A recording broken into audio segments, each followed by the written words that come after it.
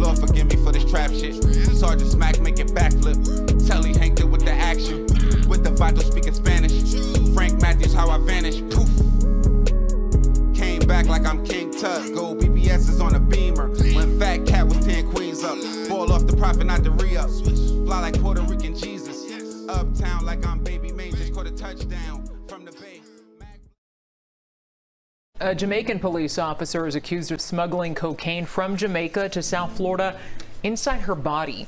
Police say 42-year-old Shelly-Ann Shireen Allen arrived at Fort Lauderdale Hollywood International Airport and following an inspection by U.S. Customs and Border Protection, agents found drugs inside her private area, pellets of packaged drugs in her stomach, and in each bra cup. She was taken to the hospital where she expelled the drugs. Agents say 1,300 grams of cocaine were found. She's facing several charges, including importation of cocaine and possession with the intent to distribute. Thanks for joining us. A woman in Brown County tells federal investigators she lost $150,000, including her home, because she was told she hit it big and won Publishers Clearinghouse. She didn't win anything. She lost it all to what local and federal authorities call a lottery scheme organization based in Jamaica.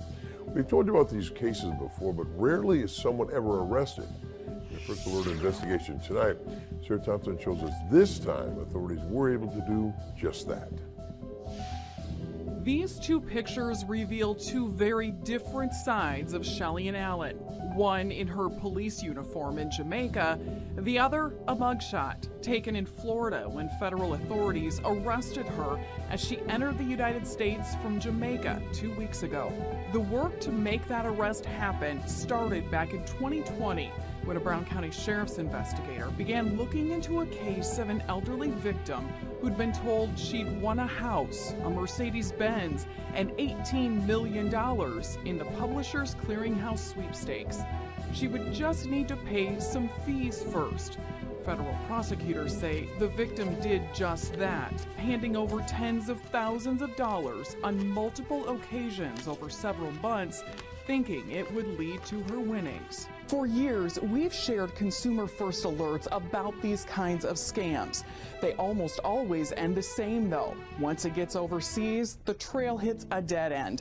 And these documents say the same thing. In fact, saying the scam is almost impossible to trace. The key word almost. Court records show when that Brown County investigator started tracking withdrawals and payments from the local victim, he was able to trace the money as it was transferred from account to account at multiple banks. With the help of federal agents, they uncovered an account with a name, Shelly-Ann Allen.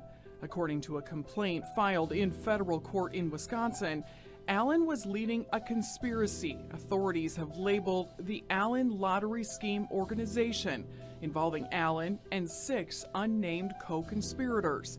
She is now charged with wire and mail fraud. But when authorities arrested her in Florida, they discovered something else cocaine. She's now also facing drug importation and possession charges in federal court in Florida after authorities say they discovered packages of cocaine hidden on Allen during a pat down. Then, concerned for her safety, investigators asked Allen if she'd swallowed any drugs. She was taken to the hospital where they say she eventually expelled 90 pellets of cocaine. In all, prosecutors say Allen had more than 1,300 grams of cocaine with a street value of more than $37,000. She'll be back in federal court on that case next week. As for the lottery scam case, prosecutors say the organization is linked to 17 victims across the United States, totaling $1.69 million.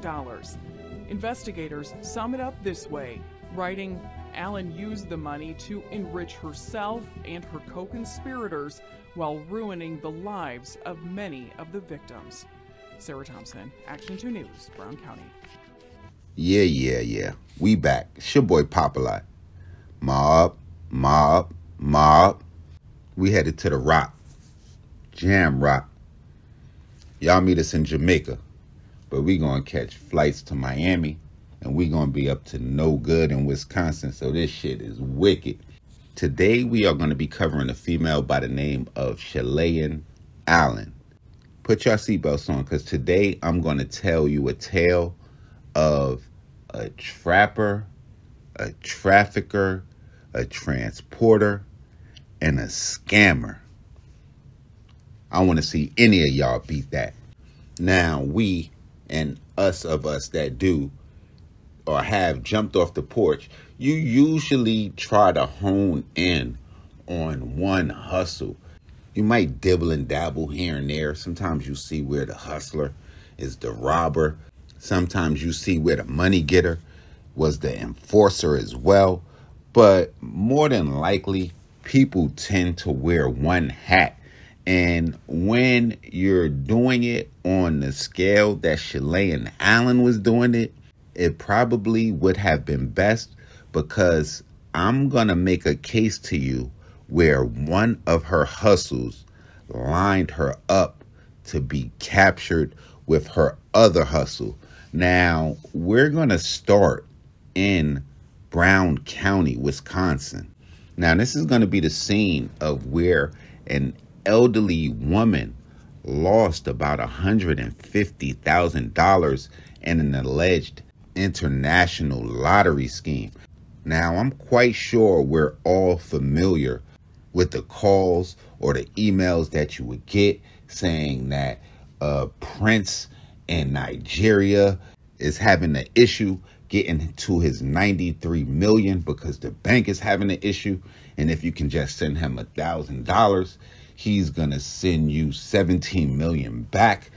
Or they might send you a check to cash and you cash the check for 30,000, you send them 20, you keep 10 and you hold a hiccup at the end. I was not even sure that they still do those kind of scams, but apparently they do. And according to the federal government, Shalane Allen was going to be the head of one of those said enterprises. And based on a criminal complaint, it's alleged that she would lead the Brown County elderly female to believe that she had hit some sort of lottery and she won prizes, including a home, a luxury car, as well as $18 million. That would lead to the elderly women forwarding upwards to $150,000 to Shalane Allen, including one situation where she sent $30,000 in cash tucked inside of a crock pot. This shit is bizarre. I can't even make this up. Now, according to authorities, normally these scams are very hard to crack and it's almost impossible to pinpoint exactly who is behind it. But after a thorough investigation and a review of numerous accounts that was tied to the organization to the original loss, they determined that that organization was responsible for a theft of about 1.7 million from 17 victims across the country. Now, after an inspection that involved local, federal agencies, as well as Homeland Security and the U.S. Postal Inspection Service, they would determine that Shalane Allen, who was a Jamaican national, a Jamaican Constabulary Force police officer, was the head of this massive lottery scam so they would begin to put eyes on her, which would lead to her being apprehended when she flew into the country on February 3rd to Fort Lauderdale Hollywood International Airport. Police would end up apprehending her, where they would determine that she would have more than three pounds, more than a kilo of cocaine broken down during the course of her body she swallowed 90 pellets and she had the rest in her bra cups. So, to be honest, she was pretty much committing anarchy out here. I'm not sure what type of situation she thought she was dealing with because she was a high scale narco trafficker as well as a high scale scammer, which is probably you're going to face football numbers doing either or. Probably better off like messing with the scamming because it's a white collar situation. But with her being involved with both of these, is definitely not looking good. When she flew in on February 3rd, she was arrested and charged with the importation of 500 grams or more of cocaine and the possession with the intent to distribute 500 grams or more of cocaine. Now, she's convicted on those charges alone. She faces up to 40 years in prison on each count. So I was going to say she damn sure came over here with the American dream, but according to the scamming operation, she already was living it up or she already had came off with a 1.7 million dollar lick. So the reason for her bringing in more than a kilo of cocaine on her person herself is unbeknownst to me. It's totally confusing and it sounds insane. But I want to know what y'all think.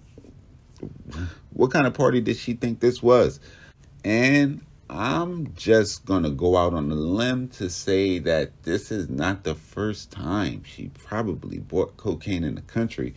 If it was to bring 1,350 grams, is you wildin'. But um, yeah, y'all get in the comment box below. Shout out to my people from Jamaica. We don't get here as much as we should, but we gonna be back real real soon. I know y'all already know that. Y'all make sure y'all hit the red subscribe right under this video. Y'all follow me on instagram on twitter pop underscore a underscore lot y'all make sure y'all flood the comment box below. Y'all get at me on there. Y'all tweet me text me call me tag me mention me dm me. Stop me in the street. However y'all want to handle it. Y'all know what it is with me. It's your boy Pop Mob, mob, mob.